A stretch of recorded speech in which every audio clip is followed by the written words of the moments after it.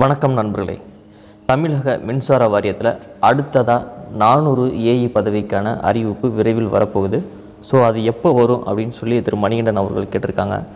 அது எப்போ வந்தாலும் நம்ம எல்லாருமே அந்த ஏஇ பதவிக்கு விண்ணப்பித்து ஏஇயாக ஆகணும். அந்த குறிக்கோளோட நம்ம தேர்வுக்கு ப்ரிப்பேர் ஆகணும். ஸோ அதில் பார்த்தீங்கன்னா ஏற்கனவே வெளிவந்த முந்நூற்றி இருபத்தஞ்சி ஏஇ பதவியில் நோட்டிஃபிகேஷனில் அதில் நோட் பண்ண வேண்டியது முக்கியமான தகவல்கள் இருக்குது அதனுடைய சிலபஸ் என்ன? ஸோ அந்த சிலபஸ் எல்லாத்தையும் நம்ம படிச்சுட்டா அடுத்த ஏஐ நம்ம வரக்கூடிய ஏஐ பகுதியில் கண்டிப்பாக வெற்றி பெற முடியும். ட்ரைனிங் பீரியட் வந்து த்ரீ மந்த் சொல்லியிருக்காங்க. ட்ரைனிங் மந்த் ட்ரைனிங் பீரியடில் த்ரீ மந்த்தில் என்னென்னலாம் சொல்லித் தருவாங்க நமக்கு? நம்மளால் அந்த போஸ்டிங்க்கு மேனேஜ் பண்ண முடியுமா?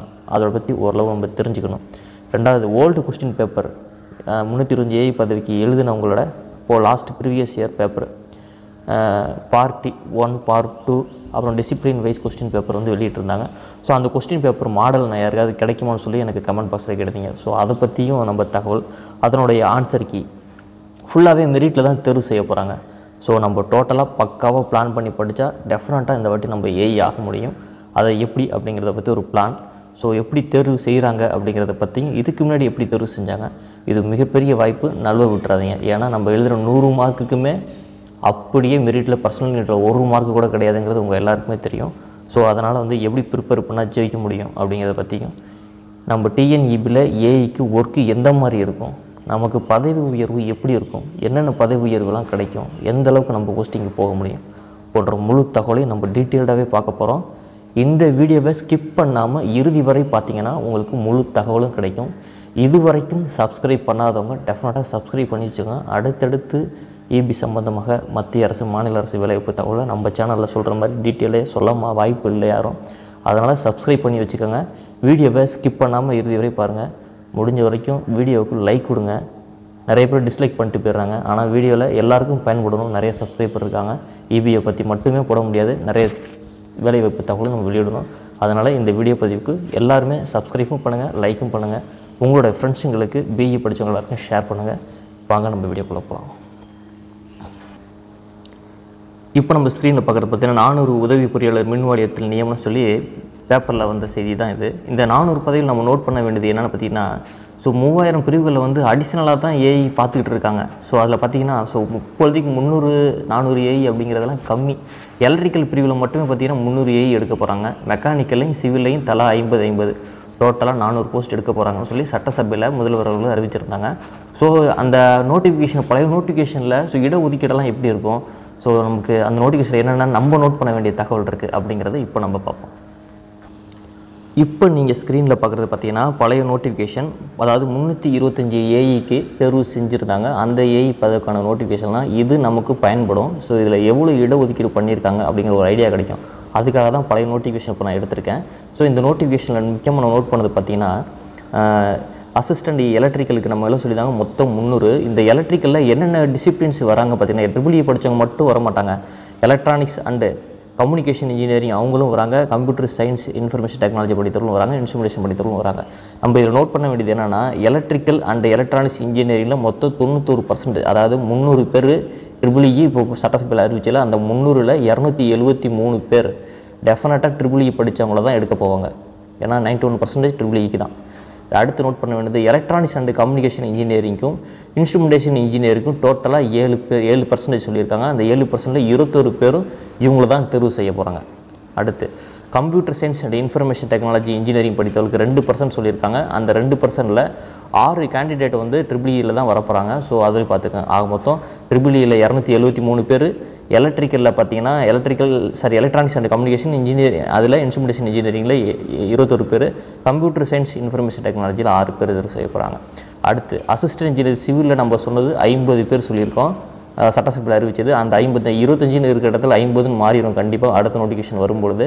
அதே மாதிரி பார்த்தீங்கன்னா மெக்கானிக்கலுக்கும் ஐம்பதுங்கிறது அறிவிச்சிருந்தாங்க. இதில் பே பேண்டு சேலரி பார்த்திங்கன்னா பழைய pay band so wage revision வந்ததுக்கப்புறம் மாறிடுச்சு. ஸோ இந்த பேமெண்ட் வந்து இதுக்குரிய பேமெண்ட் என்னவோ வெஜிடேஷனில் ரிவிஷனில் மாறிச்சோ அதுதான் வரப்போகுது. ஸோ அதை நம்ம எடுத்துக்கணும். எடுக்க எடுத்துக்க வேண்டிய தேவையில்லை. அதுக்கப்புறம் பார்த்தீங்கன்னா டிஸ்ட்ரிபியூஷன் வைஸ் வேக்கன்சிஸ் இந்த முந்நூறு ஏஐ எலக்ட்ரிக்கலுக்கும் பார்த்தீங்கன்னா இதுதான் வரப்போகுது. டெஃபினட்டாக ஜென்ரல் டர்ன்ஸு இதில் பார்த்தீங்கன்னா ப்ரியாரிட்டி நான் ப்ரியாரிட்டியில் இதெல்லாம் என்ன சொல்லியிருக்காங்களோ ஸோ இதில் இருக்கிற இடஒதுக்கீடு தான் டெஃபினட்டாக வந்து ட்ரிபிள் இக்கு e வரப்போகுது. அதில் எந்த மாற்றமும் இருக்க வாய்ப்பில்லை. அதை நோட் பண்ணிக்கோங்க. அடுத்து இசிஇயில் பார்த்தீங்கன்னா இருபத்தொரு அதுலேயும் பார்த்தீங்கன்னா இதே மாதிரி தான் இருக்க போகுது. எந்த மாற்றமும் வராது. அவங்க முந்நூறு சட்டசபையில் அறிவித்ததுக்கு முந்நூறுக்கு இதுதான் வரும். இன்கேஸ் நோட்டிஃபிகேஷன் கூடுதலாக அறிவிச்சாங்கன்னா இது மாறும். இது பழைய நோட்டிஃபிகேஷன் புதுசு கிடையாது. கன்ஃபியூஸ் ஆகிக்க வேணாம்.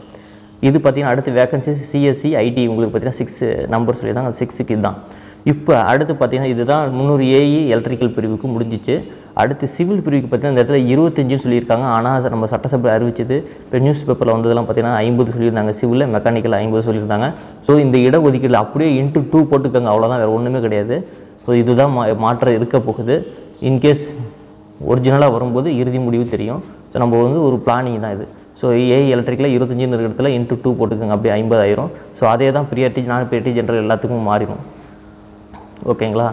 அதுக்கப்புறம் இந்த டேட் எல்லாம் மாறும். அவங்க என்ன சொல்கிறாங்களோ அதுதான்.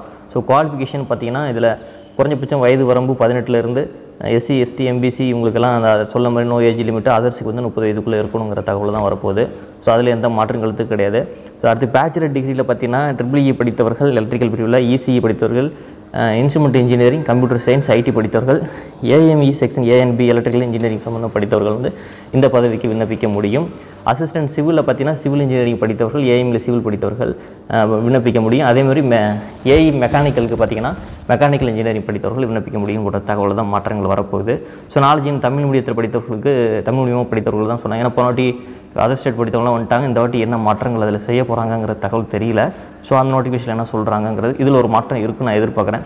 ஜென்ரல் இன்ஃபர்மேஷன் பிஎஸ்டிஎம்மில் படித்தவர்கள் இந்த சர்டிஃபிகேட்லாம் கம்பல்சரி ஆக்குவாங்கன்னு எதிர்பார்க்குறேன். சர்டிஃபிகேட் ஆஃப் ஃபிட்னஸ் இதெல்லாம் சேம் தான் எந்த மாற்றமும் இருக்காது.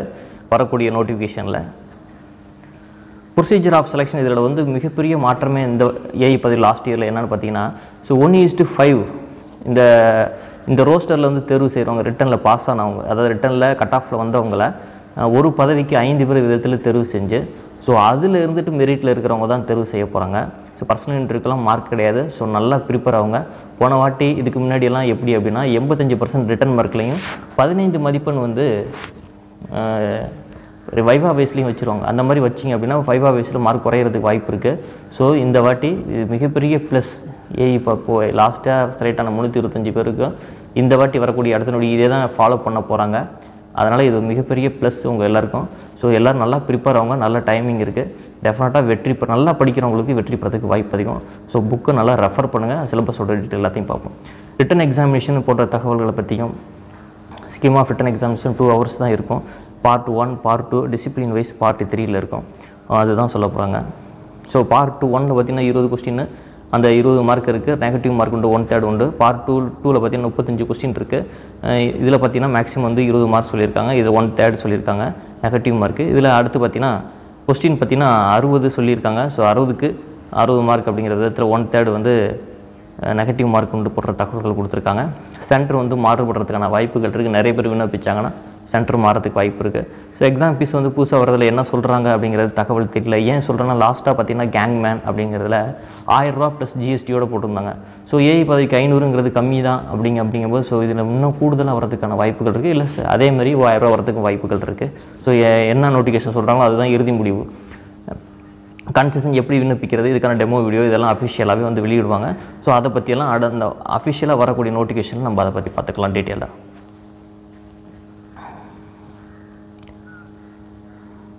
ஸோ ப்ரியாரிட்டியை பற்றி இதெல்லாம் நீங்கள் இதை வச்சு ஒரு ஸ்டடி பண்ணுவீங்க அப்படிங்கிறதுனால தான் இந்த நோட்டிஃபிகேஷனை நான் உங்களுக்கு ஸ்க்ரீனில் டீட்டெயிலாக பார்த்து சில தகவல்கள் சொல்கிறேன் மற்றபடி நோட்டிஃபிகேஷனில் ஒன்றும் மாற்றம் இருக்காதுன்னு நம்புகிறேன் அந்த ரிஜெக்ஷன் ஆஃப் அப்ளிகேஷன் என்ன ரீசன் இது அதே தான் இருக்க போகுது. அதர் இம்பார்ட்டன்ட் இன்ஸ்ட்ரக்ஷனும் அதே தான் இருக்க போகுது. ஒன்றும் மாற்றம் இருக்க வாய்ப்பு இல்லை.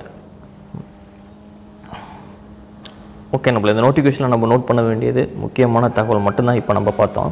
இப்போ அடுத்து பார்த்தீங்கன்னா லாஸ்ட் இயரில் நமக்கு கேட்ட சில தகவல்களை பற்றி உங்களுக்கு நான் சொல்லணும்னு நினைக்கிறேன். ஏன்னா அந்த தகவல் இருந்தால் தான் உங்களால் எக்ஸாமுக்கு ப்ரிப்பேர் பண்ணுறதுக்கு செலக்ட் ஆகிறதுக்கு நிறைய ஐடியா கிடைக்கும். ஸோ அதை பற்றி இப்போ சிலபஸோட டீட்டெயில் பார்ப்போம் நம்ம. இப்போ நீங்கள் ஸ்க்ரீனில் பார்க்குறது என்ன பார்த்தீங்கன்னா அனக்ஷர் ஒன் இது என்ன பார்த்தீங்கன்னா சிலபஸ் என்ட்ரன்ஸ் டெஸ்ட்டுக்கு இந்த டெஸ்ட்டுக்கு ஸோ பார்ட் ஒனில் வந்து டுவெண்ட்டி மார்க் சொல்லியிருந்தாங்க இல்லையா? இன்ஜினியரிங் மேத்தமெட்டிக்ஸ் இது வந்து காமன் டு ஆல் எல்லா கேண்டிடேட்டுக்கும் இதே தான் ஏஐ எலக்ட்ரிக்கலாக பதவிக்கு விண்ணப்பிக்கிறவங்களா இருந்தாலும் சரி மெக்கானிக்கல் பதவிக்கு விண்ணப்பிக்கிறதா இருந்தாலும் சரி சிவிலாக இருந்தாலும் சரி இதுதான் காமன் ஸோ அதனால் வந்து இதை வச்சு ப்ரிப்பேர் பண்ணிக்கங்க அப்படிங்கிறது ஒரு ஐடியா உங்களுக்கு கிடைத்தரும் அப்படிங்கிறதுனால தான் நான் இதை ஸ்க்ரீனில் ரன் பண்ணுறேன் பார்த்துக்கோங்க. பார்ட் டூவில் வந்து basics engineering and science common to all கேண்டிடேட்னு சொல்லியிருக்காங்க. ஸோ இது வந்து பார்த்துக்கோங்க. ஸோ சிவிலுக்கு இருக்குது மெக்கானிக்கலுக்கு இதில் இல்லை. ஸோ மெக்கானிக்கல் இன்ஜினியரிங் இருக்குது ஸோ மெக்கானிக்கல் இன்ஜினியரிங் இதை வந்து காமனாக யூஸ் பண்ணிக்கலாம். அடுத்து இது பார்த்தீங்கன்னா பார்ட் த்ரீயில் சிக்ஸ்டி மார்க் சொல்லியிருக்காங்க இது சிவில் இன்ஜினியரிங்க்கு ஸோ அதுக்குடைய சிலபஸ்ஸு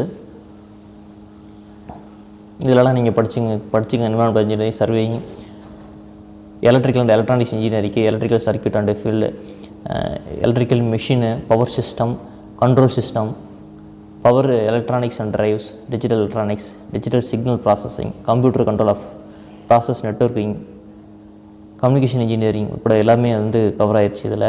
எலக்ட்ரானிக்ஸ் அண்ட் கம்யூனிகேஷனில் அவங்களுக்கு அப்ளை பண்ணுறதுக்கு circuit analyse electronics device electronic circuit digital electronics linear integrated circuit measurement and instrumentation so இது மாதிரி நிறையா இருக்குது ஸோ இந்த சிலபஸோட டீட்டெயில் எல்லாத்தையுமே பார்த்தீங்கன்னா நான் டிஸ்கிரிப்ஷன் லிங்க்கில் உங்களுக்காக கண்டிப்பாக என்க்ளோஸ் பண்ணுறேன் உங்களுக்கு பயன்படும் அப்படிங்கிற நோக்கத்தில். ஸோ இதெல்லாம் வந்து அஃபீஷியல் சைட்டில் உங்களுக்கு கிடைக்காது அப்படிங்கிறனால தான் உங்களுக்கு தெரியப்படுத்தணும் அப்படிங்கிற நோக்கத்தோடு நான் அதை வெளியிடுறேன். அதே மாதிரி ஒரு இன்ஸ்ட்ருமெண்டேஷன் இன்ஜினியரிங்க்கு வெளியிட்டிருக்காங்க. ஓ மெக்கானிக்கல் இன்ஜினியரிங்க்கு எனக்கு கிடைக்கல. கிடைச்ச உடனே கண்டிப்பாக அடுத்த அப்டேட்டில் நான் உங்கள் மெக்கானிக்கல் இன்ஜினியரிங்க்கு நான் வெளிப்படுத்துகிறேன் இப்போ நம்ம அடுத்தோட டே இப்போ நீங்கள் ஸ்க்ரீனில் பார்க்குறது பார்ட் ஒன்னோட கொஸ்டின் பேப்பர் லாஸ்ட் இயரோட முந்நூற்றி இருபது ஏஐ பதவிக்கு அப்ளை பண்ணுவாங்க. Engineering mathematics common to all கேண்டிடேட்டுக்கு so one third negative mark இருக்குது ஸோ இந்த மாடலை பேஸ் பண்ணி எந்த மாதிரி மாடலில் உங்களுக்கு கொஸ்டின் கேட்குறாங்க அப்படிங்கிறது நீங்கள் கொஸ்டினை புரிஞ்சுக்கிட்டு படிக்க ஆரம்பிங்க. காமனாக படிச்சீங்க அப்படின்னா மார்க் கிடைக்கிறது கஷ்டம். ஸோ ஒரு ஒரு கொஸ்டின் பேட்டர்னில் எவ்வளோ மார்க் எந்த மாதிரி கேட்குறாங்க அப்படிங்கிறது இந்த மேட்ரிக்ஸில் எவ்வளோ கேட்குறாங்க அந்த மாதிரி ஸ்டடி பண்ணுங்கள் அல்ஜிப்ராவில் எவ்வளோ கேட்குறாங்க அந்த மாதிரி ஸ்டடி பண்ணி இன்டகிரேஷன் டிஃப்ரென்ஷியேஷனில் எவ்வளோ கேட்குறாங்கங்கிறத நீங்கள் ஸ்டடி பண்ணி படிச்சீங்கன்னா மட்டும்தான் நம்ம இல்லை எல்லாத்தையும் படிச்சீங்கன்னா மார்க் குறையிறதுக்கு வாய்ப்புகள் இருக்குது ஸோ அதனால் வந்து நெகட்டிவ் மார்க் இருக்குது ஸோ நல்லா புரிஞ்சு படிங்க. எல்லாத்தையும் படிக்காதீங்க அப்படிங்கிறத நான் சொல்கிறேன் எல்லாத்தையும் படிச்சிங்கன்னா மறந்து போயிடுவீங்க. புரிஞ்சு படிச்சீங்கன்னா இந்த பேட்டர்னில் இந்த மாடலில் இந்த கொஸ்டின் கேட்குறாங்கங்கிறது புரிஞ்சு படிங்க. அதுக்காக தான் திரும்ப திரும்ப அதையே சொல்கிறேன் இது வந்து பார்ட்டு ஒன்னோடது. பார்ட் டூவோடது நம்ம அதே மாதிரி பார்ப்போம். இப்போ நீங்கள் ஸ்க்ரீனில் பார்க்குறதுனா part two basics engineering science common to all கேண்டிடேட்னு சொல்லியிருக்காங்க. ஸோ இதில் வந்து எல்லா இன்ஜினியரிங்குமே கவர் ஆகும். ஸோ இதனால் நீங்கள் எல்லாத்தையும் படிக்கிற மாதிரி இருக்கும் இதில். ஸோ புரிஞ்சு படிங்க இதில் வந்து எந்த மாதிரி கொஸ்டின் கேட்குறாங்க அப்படிங்கிறது சயின்ஸ் சம்மந்தமாக அதெல்லாம் பார்த்துட்டு அந்த பேட்டர்னில் படிக்க ஆரம்பிங்க. ஸோ இந்த இரு இந்த மார்க்கை நம்ம விட்டுறக்கூடாது. ஒன் தேர்ட் இருக்கும். இதெல்லாம் நமக்கு உதவியாக இருக்கும். நம்ம செலக்ட் ஆகிறதுக்கு. அதனால் நம்ம மெயினாக வந்து ட்ரிபிள் ஏன்னா ட்ரிபிள் ஏ மட்டுமே படிக்கக்கூடாது.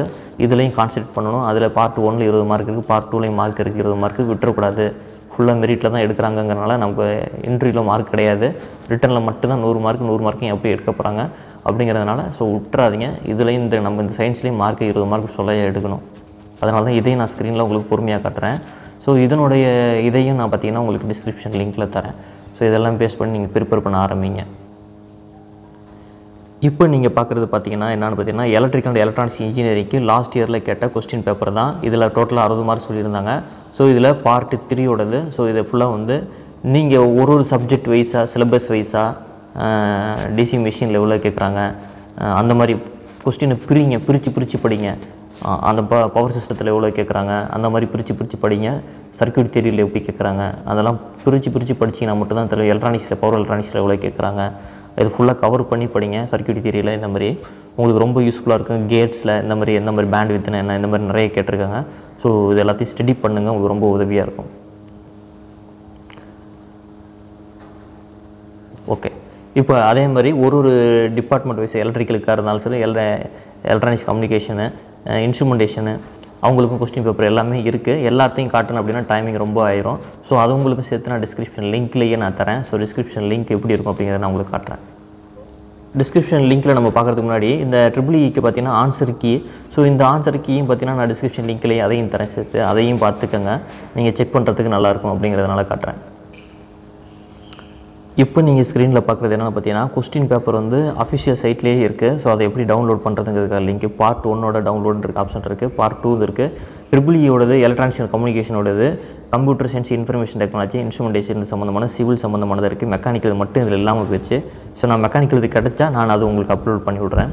அதே மாதிரி பார்த்தீங்கன்னா ஆன்சர் கீ பார்த்தீங்கன்னா ட்ரிபிள் இயோடது இசியோடது கம்ப்யூட்டர் சயின்ஸ் இன்ஸ்ட்ருமெண்டேஷன் வந்து இவங்களது இருக்குது சிவிலோடது இருக்குது ஸோ இதெல்லாம் நீங்கள் டவுன்லோட் பண்ணி ஸ்டடி பண்ணி படிக்க ஆரம்பிங்க. நீங்கள் படிக்க ஆரம்பிச்சிங்கன்னா நடைபெற கண்டிப்பாக வெற்றி பெற முடியும். அந்த நோக்கத்தோடு தான் இந்த பதிவு. ஸோ நம்ம சேனலை வெளியிட்ட மாதிரி மற்ற சேனலை வெளியிடுறாங்களா என்னன்னு தெரியல. அப்படியே வெளியிட்டால் நம்ம அளவுக்கு டீப்பாக சொல்கிறதுக்கு வாய்ப்புகள் ரொம்ப கம்மி. அதுக்கப்புறம் பார்த்தீங்கன்னா அந்த நூறு பர்சன்ட் வந்து ஸோ மெரிட்டில் தான் எடுக்க போகிறாங்கங்கிறத நான் சொல்லிட்டேன். அதனால் நூறு மார்க்குமே உங்கள் கையில் தான் இருக்குது படிக்க ஆரம்பிங்க. இன்னொரு விஷயம் என்னென்னா ஏஇ பதவிக்கு பதவி உயர்வு எப்படி இருக்கும் அப்படிங்கிறத நீங்கள் தெரிஞ்சுக்கோங்க. ஏஐக்கு வந்து பார்த்திங்கன்னா இப்போ நிறைய பேர் ரிட்டைர்மெண்ட் ஆகிட்டாங்க கிட்டத்தட்ட சு- சுதந்திரம் வாங்கினதுக்கு அப்புறம் வந்தவங்க எல்லாருமே பார்த்திங்கன்னா இந்த அறுபது வயசு ஐம்பத்தெட்டு வயசு ரீச் பண்ணிட்டாங்க. அவங்கள நிறைய பேர் ரிட்டையர்ட் ஆகிட்டாங்க நிறைய வேகன்சிஸ் இருக்குது நிறைய இடத்துல ஏஐ வந்து அடிஷ்னல் சார்ஜ் தான் பார்த்துட்டு இருக்காங்க. ஆட்கள் பற்றாக்குறையும் இருக்குது இதில் தொடர்ந்து பல வழக்குகளை சந்தித்து காலதாமதம் ஆகிட்டு இருக்கு பதவி தேர்வு செய்கிறதுலையும் சரி பதவி உயர்வுலையும் காலதாமதம் ஆகிட்டு இருக்கு இதெல்லாம் அஃபிஷியலோட இது அது நமக்கு தேவையில்ல. ஸோ ஏஐக்கு பதவி உயர்வு எந்த மாதிரி இருக்கும் அப்படின்னு பார்த்தீங்கன்னா மின் வாரியத்தில் நீங்கள் வந்து பார்த்தீங்கன்னா உங்களுக்கு ட்ரைனிங் த்ரீ மந்த் கொடுப்பாங்க. த்ரீ மந்த்துக்கு உங்களுக்கு கன்சல்டேட் பேன்னு சொல்லிட்டு ஒரு சேலரி கொடுப்பாங்க. அந்த புதுசாக வர நோட்டிஃபிகேஷனில் அதில் மாற்றம் இருக்குன்னு எதிர்பார்க்குறேன். அதுக்கப்புறம் பார்த்துக்கிட்டிங்கன்னா அந்த த்ரீ மந்த் ஆனதுக்கப்புறம் உங்களுக்கு ரெகுலர் ஏஐயா உங்களுக்கு கன்சிடர் பண்ணி நீங்கள் போஸ்ட்டில் ஒர்க் பண்ணுவீங்க. ஏஐயா சைட் ஆனதுக்கு நீங்கள் அதுக்கப்புறம் அசிஸ்டன்ட் எக்ஸிக்யூட்டிவ் இன்ஜினியர் அப்படி சொல்லக்கூடிய அல்லது அசிஸ்டன்ட் டிவிஷனல் இன்ஜினியர் சொல்லுவாங்க. ஏஇஇ அல்லது ஏடிஇன்னு சொல்லக்கூடிய டிவிஷனுக்கு அசிஸ்டன்ட் டிவிஷனல் இன்ஜினியராக நீங்கள் வந்துடுவீங்க ஏடின்னு சொல்லுவாங்க. அல்லது ஏஇஇ அப்படின்னு சொல்லுவாங்க. ஏஇ பதவி ஏடி பதவிக்கு நீங்கள் வந்துடுவீங்க அதுக்கப்புறம் பார்த்தீங்கன்னா ஏடி சர்வீஸ் அடிப்படையில் அடுத்த பதவி உயர்வு உங்களுக்கு வந்து இஇ அதாவது டிஇன்னு சொல்லுவாங்க. டிவிஷனல் இன்ஜி ஒரு டிவிஷனுக்கு ஒரு இன்ஜினியர் அப்படிங்கிறதுனால டிஇன்னு சொல்லுவாங்க. இஇன்னு சொல்லுவாங்க எக்ஸிக்யூட்டிவ் இன்ஜினியர்ன்ட்டு அந்த பதவிக்கு வருவீங்க பதவி மூப்பு அடிப்படையில். அதுக்கப்புறம் பார்த்தீங்கன்னா ப்ரொமோஷனில் அடுத்த ப்ரொமோஷன் ட்ரிபிள்இக்கு அப்புறம் எஸ்சி அப்படிங்கிற சூப்பரண்டன்ட் இன்ஜினியரிங் பதவிக்கு தேர்வு செய்வீங்க. அதுக்கப்புறம் எஸ்சியில் அது மேக்ஸிமம் அதில் ரிட்டையர் ஆகிறதுக்கு வாய்ப்பு அதிகம். சின்ன வயசாக இருக்கிறவங்க சிஇ லெவலுக்கு வருவாங்க. சீஃப் இன்ஜினியர் அப்படின்னு சொல்லக்கூடிய ரீஜன் லெவலில் இருக்கிற ஒரு இன்ஜினியருக்கு தான் சீஃப் இன்ஜினியர் டிஸ்ட்ரிக் லெவலில் இருக்கிற ஒரு இன்ஜினியருக்கு தான் சூப்பரண்டன்ட் இன்ஜினியர் அப்படிங்கிறது தான். ஸோ நீங்கள் நல்ல ஒரு ப்ரிப்பேர் பண்ணி படிச்சிங்கன்னா ஒரு ரீஜன் லெவலில் பெரிய அதிகாரியாக வரதுக்கு வாய்ப்புகள் இருக்குது ஸோ மிஸ் பண்ணிடாதீங்க. மிகப்பெரிய ஆப்பர்ச்சுனிட்டி நீங்கள் எல்லாருமே வெற்றி பெறணும். இந்த வீடியோவை ஸ்கிப் பண்ணாமல் இறுதி வரை பார்த்ததற்கு மிக்க நன்றி. இந்த தகவலை பார்த்துட்டு எல்லாருமே லைக் பண்ணுங்கள் எல்லாருக்கும் ஷேர் பண்ணுங்கள் நிறைய பேருக்கு இந்த தகவலாம் தெரியாது. ஷேர் பண்ணுங்கள் மீண்டும் ஒரு நல்ல வீடியோ பதிவோடு சந்திப்போம். நன்றி வணக்கம்.